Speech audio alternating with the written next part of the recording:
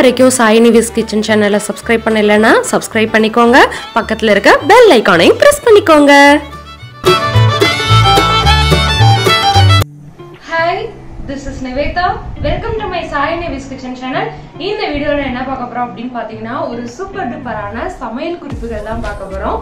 So நான் already சொன்ன மாதிரி தான் லாஸ்ட் டைம் வந்து அழகு குறிப்பு பார்த்தோம். இந்த தடவை வந்து சமையல் குறிப்பு பார்க்கலாம். ஸோ வாங்க வீடியோக்குள்ளே போகலாம் ஸோ ஃபர்ஸ்ட் ஸ்டெப் என்ன அப்படின்னு பார்த்தீங்கன்னா நம்ம வந்து சப்பாத்தி மாவு பிசைவோம். ஸோ சப்பாத்தி மாவு வந்து யூஸ்வலாக வந்து நல்லா வார்ம் வாட்டரில் பிசைவோம். ஒரு சிலர் வந்து பால்லையும் பிசைவாங்க. ஸோ நீங்கள் வந்து பாலில் ஊற்றி வந்து சப்பாத்தி மாவு பிசைகிறப்போ என்ன ஆகும்னா தண்ணிக்கு பதிலாக ரொம்ப சாஃப்டாக இருக்கும். அதே மாதிரி ரொம்ப நேரம் கழித்து நம்ம சாப்பிட போகிறோம்னா ரொம்ப அந்த டெக்ஸ்சர் வந்து அந்த சாஃப்டாக இருக்கும். இன்னொன்று நம்ம இப்போ ட்ராவல் பண்ண போகிறதில்ல இன் ஃபியூச்சரில் நம்ம ஒரு ட்ரெயின் ஜேர்னியோ இல்லை ஒரு பஸ் ஜேர்னியோ நம்ம வந்து பண்ணுறப்போ இந்த மாதிரி பால் சேர்த்து நம்ம வந்து சப்பாத்தி மாவு பிசைஞ்சிருந்தோம் அப்படின்னா சப்பாத்தி ரொம்ப சாஃப்டாக இருக்குங்க. ஸோ அடுத்த டிப் என்ன அப்படின்னு பார்த்தீங்கன்னா நம்ம வீட்டில் நிறைய பேர் வந்து ஃப்ளாஸ்க் யூஸ் பண்ணுவோம். ஸோ ஃப்ளாஸ்க் யூஸ் பண்ணிட்டு ஒரு சில நேரம் வந்து அது பார்த்தீங்கன்னா நம்ம எவ்வளோதான் அது இமிடியேட்டாக நம்ம வாஷ் பண்ணாலும் உள்ளே வந்து ஒரு கெட்ட வாசம் வரும். நம்ம அதை எவ்வளோதான் அந்த சோப்பு போட்டாலும் அந்த பால் வாடையோ இல்லை அந்த காஃபி வாடையோ அதை விட்டு போகாது. அப்படி இருக்கிற பட்சத்தில் ஒரு டேபிள் ஸ்பூன் கடுகு எடுத்துக்கோங்க. கடுகை நல்லா அரைச்சு எடுத்துருங்க. அரைச்சு எடுத்துட்டு அந்த அந்த கடுகு அரைச்ச பவுடரையும் கொஞ்சோண்டு வாட்டரையும் நல்லா அந்த ஃப்ளாஸ்க்ல போட்டு நல்லா குழுக்கி ஒரு நாள் ஃபுல்லா அப்படியே வச்சிருங்க. வச்சுட்டு மறுநாள் வந்து நார்மலா அதை எடுத்து க்ளீன் பண்ணீங்கன்னா அந்த வாசனை எல்லாம் போய் ரொம்ப நல்ல ஒரு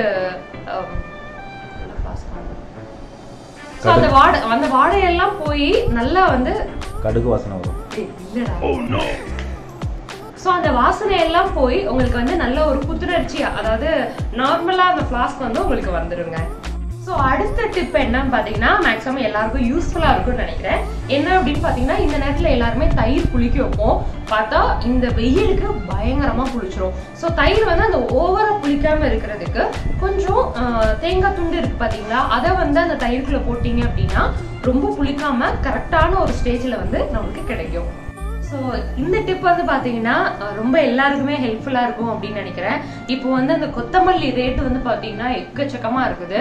அதே மாதிரி இப்போ காய்கறிகளும் சரி இந்த நம்ம வெயில் காலத்தில் என்னதான் நம்ம வந்து ஃப்ரிட்ஜில் வந்து ஸ்டோர் பண்ணி வச்சாலும் வேகமாக வந்து வாடி போயிடுது நொசைஞ்சு போயிடுது இந்த வெயிலுக்கு தாக்கு பிடிக்கல.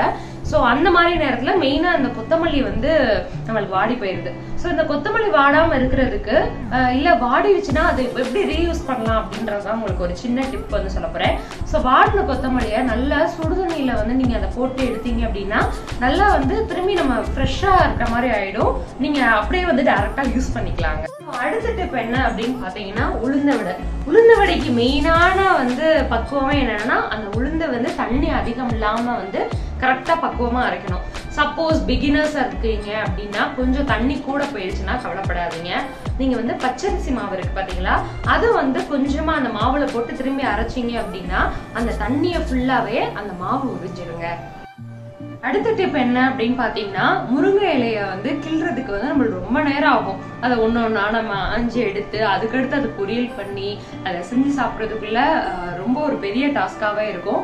ஸோ அந்த முருங்கை இலையை எப்படி வந்து வேகமா ஈஸியா நம்ம வந்து கிள்ளி எடுக்கலான்றதுக்கு ஒரு சின்ன டிப் என்ன அப்படின்னு பாத்தீங்கன்னா நாளைக்கு இப்போ முருங்கைக்கீரை வச்சு செய்ய போறீங்க அப்படின்னா முந்தின நாளே நல்ல ஈரமான துணியில அந்த முருங்கை இலத்தையும் முருங்கை இலை எல்லாத்தையும் போட்டு நல்லா இறுக்கமா கட்டி வச்சுட்டீங்க அப்படின்ட்டு மாலை காலையில வந்து நீங்க ஓபன் பண்ணி பாத்தீங்கன்னா அப்படின்னா அதுவாவே எல்லாமே உங்களுக்கு வந்து கிள்ளி உள்ள இருக்குங்க.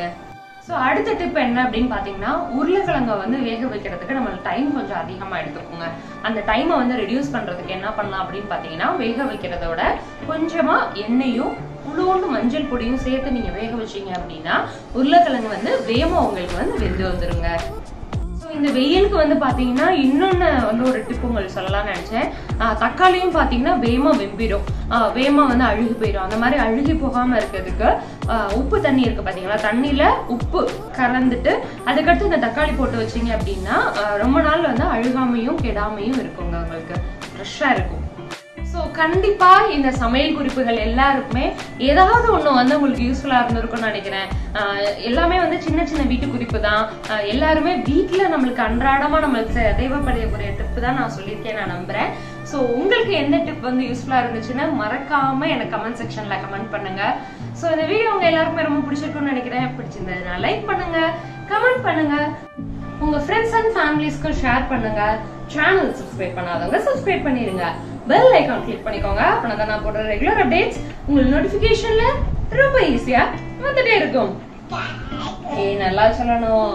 தேங்க்யூ டிப்ஸ் உங்களுக்கு யூஸ்ஃபுல்லா இருக்கும். கமெண்ட் பண்ணுங்க. ஓகே டன் பாய்